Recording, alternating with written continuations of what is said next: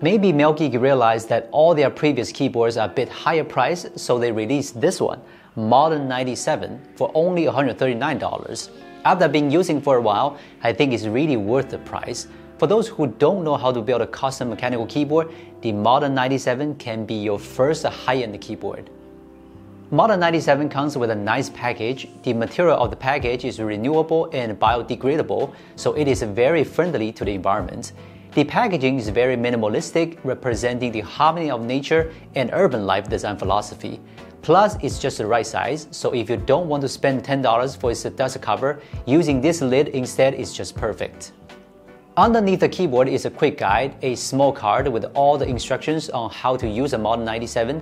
Let's take away the quick guide and the warranty card. At the bottom are all its accessories. From left to right are the keycap puller, switch puller, 8 replacement keycaps, Type-C cable, and 2.4G dongle. Not to mention that the Mojo series and the Pixel from MelGeek are among the top in the industry for the design. The Modern 97 as MelGeek's cheapest keyboard, however, still has something unique and impressive to it. The combination of the ink dot upper shell and the thread matte transparent bottom shell gives the keyboard a bit of a Zen style. This Ocean version comes in blue, white, and yellow color scheme. The three icons at the bottom represent productivity, social, and game. There are a few parting lines centered on the side and back of the bottom shell, which are not very noticeable and difficult to find. Personally, I think Modern 97 is very good in terms of design and build quality. For a 90% layout keyboard, the Modern 97 is pretty compact. There's not a single gap between the arrow key, numpad, and typewriter key, making the entire keyboard significantly shorter. It does save space, though you will have to get used to it for a while. It has three connection methods 2.4G, Bluetooth, or wired. During the time testing this keyboard, there was no problem with the keyboard waking up again and still has the first character typed when connected wirelessly. The Modern 97 weighs 990 grams. It's not light, but it's a good thing for a keyboard that doesn't sell itself on portability. Instead, you get a keyboard stuffed with a sound absorbing material and a large battery. The Modern 97 uses the MCR keycap profile. It's a MelGeek original profile that is similar in size to the Cherry profile, but slightly taller. There are really not much difference in use though, and with the wrist rest, they are both quite comfortable. There aren't too many drawbacks to this set of double-shot ABS keycaps. The characters are neatly aligned there's no light transmission. The colors are bright and uniform, and the only thing you need to worry about is that they get worn gradually in long-term use. This is a common problem with the ABS keycaps, by the way. The three switches available for the Model 97 are all from Kailh. Our choice is the Kailh Sonic 53. It's a linear switches. Let's listen to the typing sound first.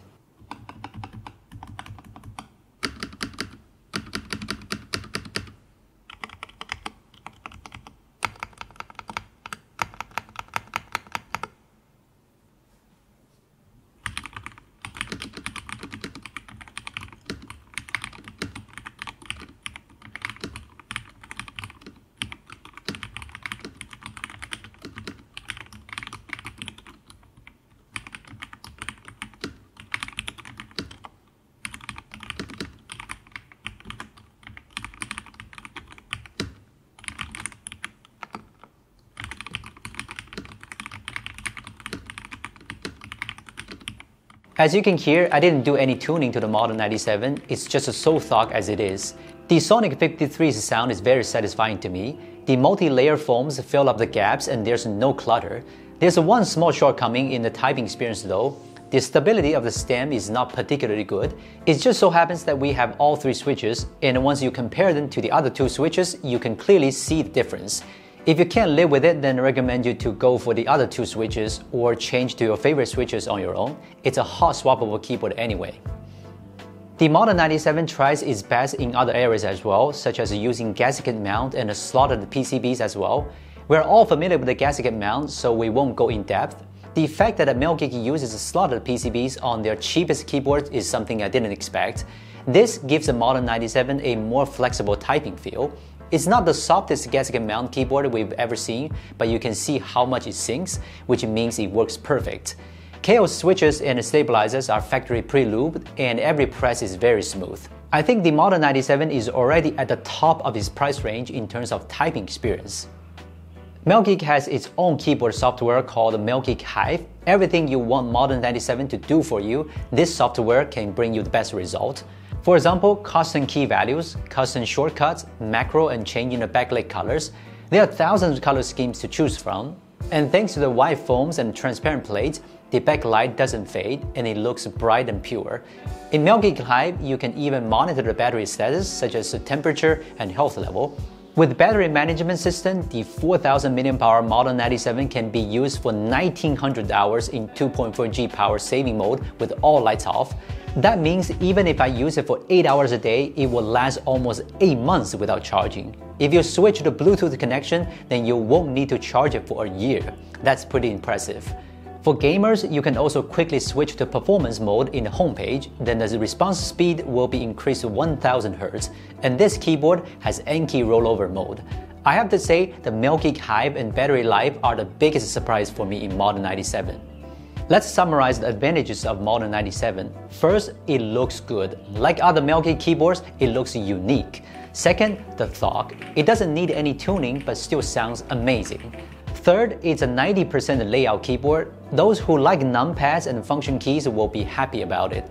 The fourth, the super long battery life. It's one of the few keyboards that doesn't need to be recharged for up to a year. Last, there are almost no drawbacks to this keyboard that I can't live with. The only switch's stability issue can be solved by utilizing the other two switches. Not a big deal. I think it definitely worth the $139 price tag. Just a quick spoiler alert, after this we will also do a review for Mojo 68, so if you want to see that review, remember to subscribe to our channel and give us a like. Leave a comment if you have any thought about Model 97. This is Will Funky from China. See you next time.